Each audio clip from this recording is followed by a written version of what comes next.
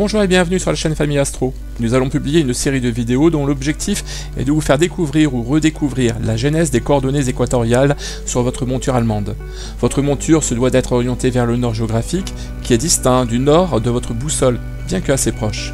Dans cette série de vidéos, dont voici la première, nous aborderons successivement la notion de nord magnétique, de nord géographique, puis expliquerons les mécanismes de repérage astronomique équatorial, ce qui nous permettra de vous faire une démonstration sur notre monture EQ2. Le Soleil, à qui nous devons la vie, est aussi source de danger. Sa chromosphère est source d'éruptions dont la fréquence varie selon un cycle solaire de 11,2 ans. Ces éruptions projettent dans l'espace de la matière ionisée et constituent le vent solaire.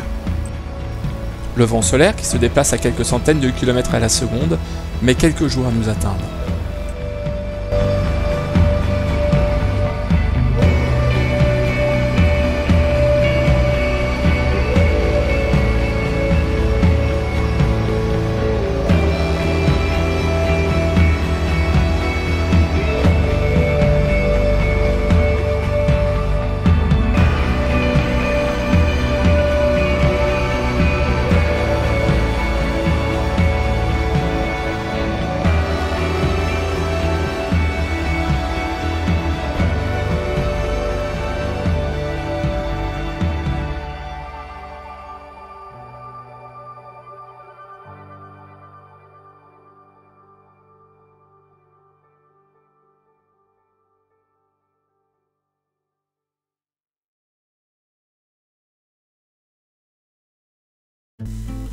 La Terre est constituée de l'écorce terrestre sur environ 35 km. Le manteau est lui-même scindé en un manteau supérieur de 650 km d'épaisseur et d'un manteau inférieur de près de 2200 km d'épaisseur. Le noyau, placé à environ 2900 km de profondeur, n'est pas uniforme. Sa masse volumique est importante, représentant 33% de la masse de la Terre, alors qu'il ne représente que 17% de son volume. Le noyau externe est composé de 80% de fer et de 20% de nickel. Sa température est proche de 4000 degrés. Il est liquide. Le noyau inférieur, également appelé graine, est constitué quant à lui de 80 à 85% de fer et de 5% de nickel. Le reste est sans doute composé de soufre et de silice.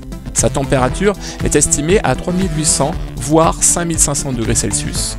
Il est dense, solide, du fait de la pression qui y règne. En 1600, William Gilbert, un physicien et médecin d'outre-Manche, décrit la Terre comme un aimant, auteur d'un livre Mario Magnet Tellour, du grand aimant de la Terre. En 1622, l'astronome français Pierre Gassendi donne le nom d'aurore boréale au phénomène lumineux observé, phénomène qui sera plus tard appelé orage magnétique. Au début du XXe siècle, le Britannique Sidney Chapman émet l'hypothèse d'un rapport entre le champ magnétique terrestre et un vent de plasma éjecté par le Soleil. En 1957, Sputnik est placé en orbite. Le 1er février 1958, la fusée Juno 1 de la famille Reston lance le satellite Explorer 1. Dans une zone proche de la Terre, le compteur Gégère s'affole et arrive à saturation. L'américain James Van Allen découvre alors que la Terre est entourée d'une ceinture de particules. Revoyons ensemble le décollage.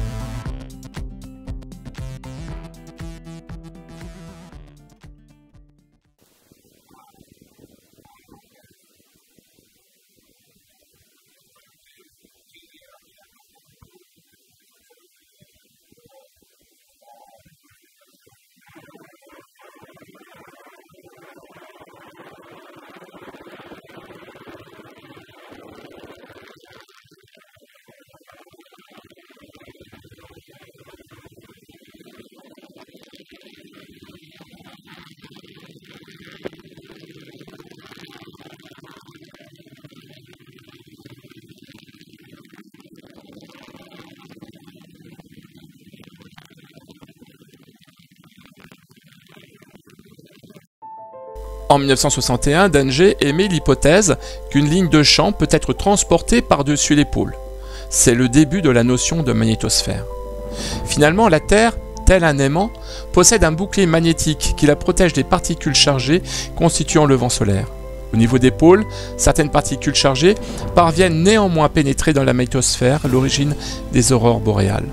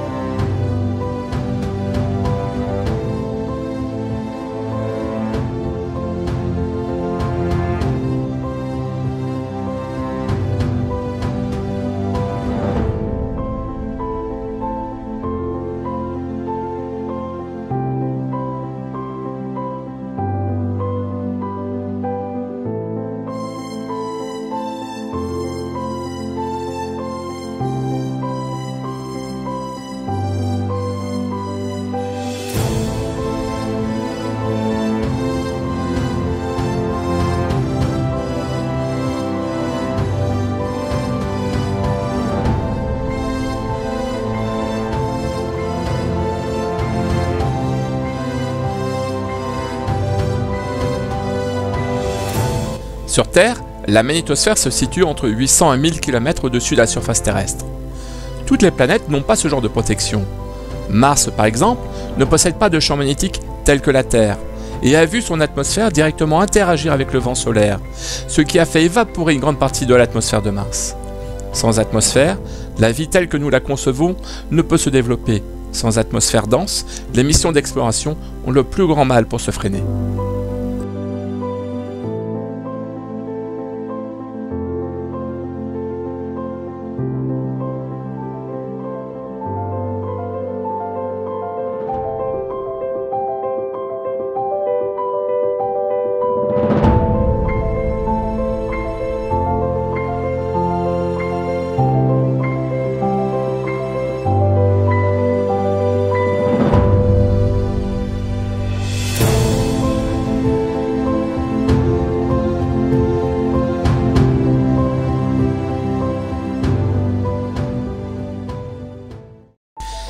La magnétosphère nous protège bien des excès du soleil, mais cette armure n'est pas invincible.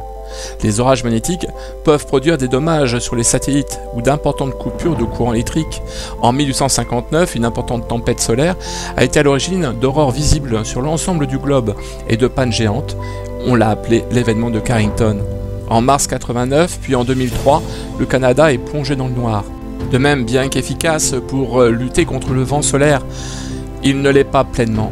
En 1972, un satellite analyse les pôles avec un spectromètre de masse et permet de révéler une fuite d'oxygène depuis la Terre, fuite estimée à plusieurs centaines de tonnes.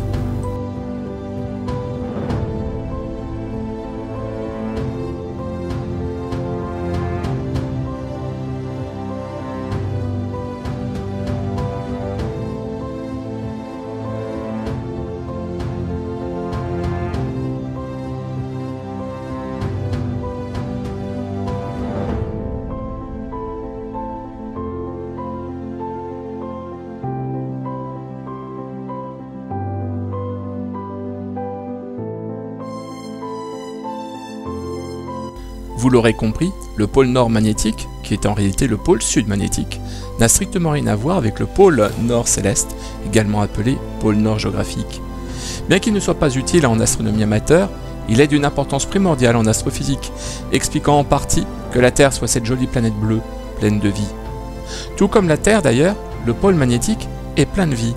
Effectivement, les pôles magnétiques ne sont pas fixes, mais au contraire bougent, comme en témoignent les relevés établis depuis le début du 19e siècle. En fait, d'année en année, ils bougent de près de 40 km, quittant peu à peu le nord canadien pour se diriger vers la Sibérie.